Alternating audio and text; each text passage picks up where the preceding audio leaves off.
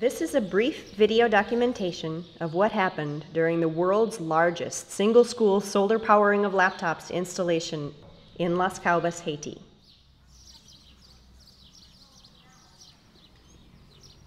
This project is the result of long-term partnership between the Haitian Ministry of Education, Illinois Institute of Technology, and Green Wi-Fi. The Haitian Ministry of Education asked Illinois Institute of Technology and Green Wi-Fi to devise, design, engineer a solar powering solution for one laptop per child laptops um, at schools, at primary schools in Haiti. We have worked at IIT for the last two semesters on designing the solar powering solution, as well as fundraising and working on the educational components of the project because this project is not just a technology project, it's also a human infrastructure, human capability, infrastructure, technology, ecosystem project. The solution that we designed for the Haitian schools using solar power to charge laptops is a little bit unique in its design as the entire system runs on DC. Most computers do run on DC but have to be converted from AC electricity.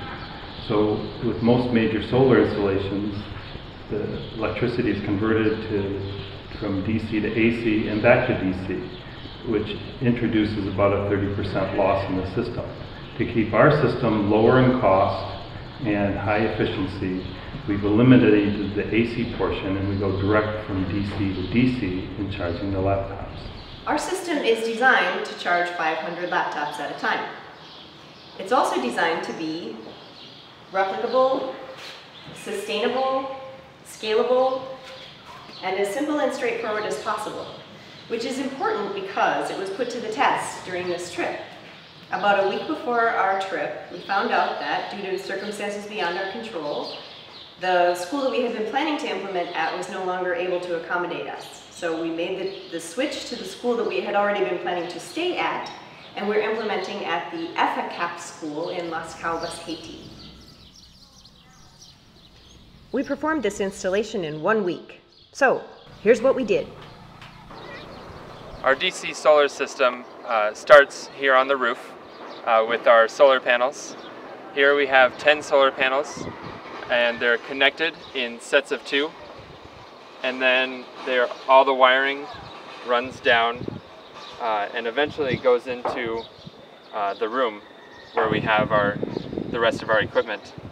Uh, so we have in total five sets of wires that go down uh, to the room. Uh, then the, the biggest challenge that we faced up here on the roof was actually mounting the solar panels to the tin roof. Uh, originally we had planned on using a full SnapNrack mounting system, uh, but due to complications in shipping uh, mostly in the customs department, we lost half of our uh, mounting equipment. Uh, and that half was how to mount the rails to the actual roof.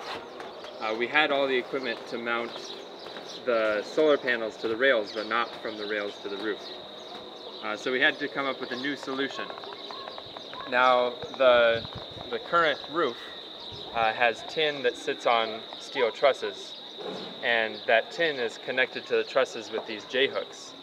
Uh, and the bolts end up sticking up out of the roof. Uh, so we decided to use those existing bolts uh, to attach the rails uh, directly to the roof. Uh, and that was that gave us the opportunity to have a strong connection to the roof uh, that actually ended up making it even more secure. Um, and then we attached the solar panels to the railing and as you can see it all ended up working out very well and we're happy with how it ended out. So the wires are connected to the solar panels up on the roof and there's uh, there's 10 solar panels total connected in series of two. Solar panels uh, series 1 and 2 are connected in this combiner box and solar panels uh, 3, 4, and 5 are connected in this combiner box. Now originally, when the original design called for all five uh, sets to go in one combiner box and we would parallel feed the charge controllers, but during the installation um, and during reviewing the instructions for the uh, charge controllers, we realized that the manufacturer does not recommend hooking the charge controllers in parallel. So we had to add another combiner box and split the total of five uh, and two series connected. Now the wires come from uh, the combiner box to the charge controller. There's a positive and a negative. Essentially, these just collect the individual uh, parallel, um, uh, I guess, uh, solar panels. They come out and they feed the charge controllers. Each has its positive and its negative, and uh, they also have a positive that comes from the battery bank. In this case, we're running 12 volt uh, DC. Uh, we're keeping it DC, um, and we have uh, a fuse for the battery bank, a shut-off switch for the battery bank, and then uh, each charge controller gets a positive, and the load uh, center box gets a positive as well. And there's three negatives coming from the battery bank, one to the load center, and then one to each charge controller. And the other part, the other component of the room that's wired into uh, the load center are the lights. So the lights were rewired to be DC. We reused the existing conduit and existing switch.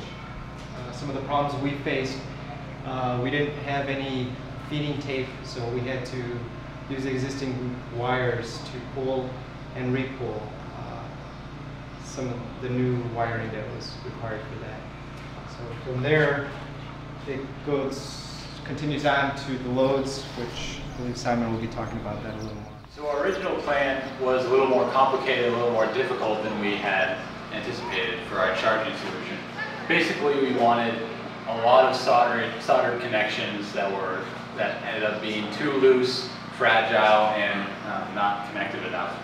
Uh, we're charging about 400 laptops, and if we were to solder all those together, that's a lot of joints. So we had to think of another idea.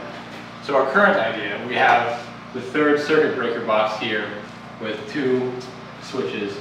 Each switch breaks and um, turns on for two tables. From there, we run the wire across, and our system utilizes wall boxes and table boxes. We have one on the top and one underneath the table. So our wall boxes run the wires from the, from the circuit breaker box down and to the next box. As we go down to the table, um, this, the junction box on the table is both on top and underneath, then break apart to all the pigtails.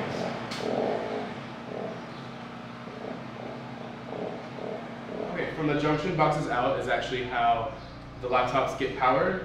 Um, inside of the junction boxes, all five of the pigtails for um, the table are combined um, here along with the wires from the junction box on the wall coming from the power source. So they're all combined together and then they go out in what we call pigtails. Each of the positive and negative ends are combined together and soldered and then stuck with the other ones. Um, they go out into 10 separate um, plugs for the laptops and then that's how the laptops are powered. As mentioned, this project goes beyond the technology and is about education in many ways. It's a hands-on, real-world experience for the IIT students. We created lesson plans about solar energy for the Haitian students and teachers and got to test them out. We're working with the local person on site charged with maintenance of the system after we leave. And we also held a book drive and set up a library at the school.